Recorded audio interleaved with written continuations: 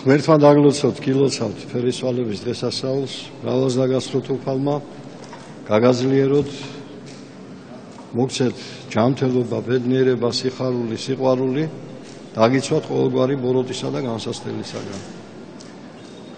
ჩვენ დღეს ჩამოვედით იმის გულისთვის, სხვა სხვა ეპარქიის დემთავრები, რომ მეუფე გერასიმესთან ერთად ჩვენი პატრიარქის ილია მეორის ლოსოკურთხევით გველოცა რომ უფალმა საქართველოს აპატიოს ის განსასწრელი ის სისუსტე რომელსაც ჩვენი ხალხი ნაწილი იჩენს დღევანდელ დღეს და აცილოს ეს დიდი განსასწრელი.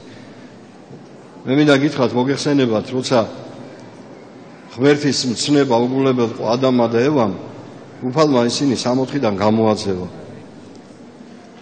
არსებობს მადლი და არსებობს ღვთის სამართლიანობა, ანუ სასჯელი ღვთის. და აი, აი ამ ცოდვის გამო ისინი გამოძევებული იქნენ სამოთხიდან.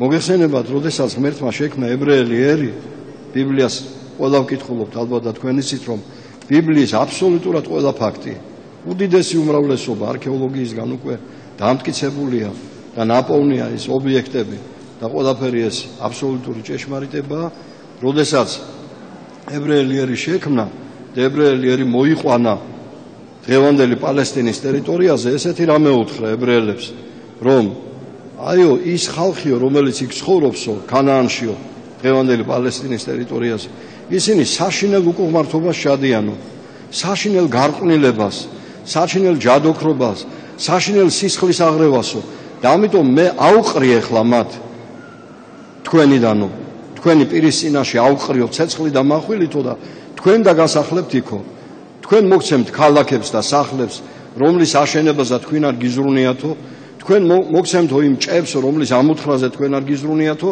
თქვენ მოგცემთო იმ ხეხილს და ბაღებს და ვენახებს რომელიც თქვენ არ დაგირგავთო და ამას იმიტომ ვაკეთებო რომ მათ მე განმარისხეს აი ამ უკუღმართი ცხოვრების გამო. და თქვენ კიდე გთხოვთ რომ გასახლებთ ჩემი რჯული დაიცვათ თორე თქვენც იგივე ბედი მოგელითო. თქვენ ამის შემდეგ მოგეხსენებათ, რომ ებრაელებმა ხშირად გატეხეს უფლის მცნება. იყო ესეთი ფაქტი, რომ ომის დროს ზოგჯერ მარადიორობა დაიწყეს, ანუ მოპარვა იქ ნადავლის და ღმერთმა სასტი გადასაჯა და საშინელი დამარცხებები აგემა ებრაელ ხალხს. მე იცი თქვენ რომ როდესაც შეუგზავნეს ბალამ წინას ბალამის ჯადოქრის რჩევით გარყნილი დედაკაცები და ებრაელები მრუშები დაეცენ ამ დედაკაცებთან როგორ დამასდნენ ებრაელები უამრავ ბრძოლებში და შემდეგ მოგეხსენებათ რომ როდესაც მათ ძალიან მწარედ შესოდეს უფალმა მათ ეკლესია დაუნგრია სოლომონის ტაძარი და გაასახლა 70 წელი ბაბილონში და როცა მერე დააბრუნა ისევე აპატია უფალმა და ჯვარზე გააკრეს უფალი 2000 წელი იყვნენ გაფანტული.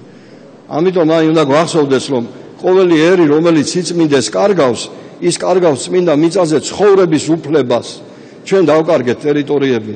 ჩვენი არასწორი ქცევის გამო ჩვენი არაეკლესიური ცხოვრების გამო. უამრავი ტერიტორიები დავკარგეთ. და ეს ახლა ჩვენი გამოცდაა. არა ერთი და ორი კაცი შემოდის.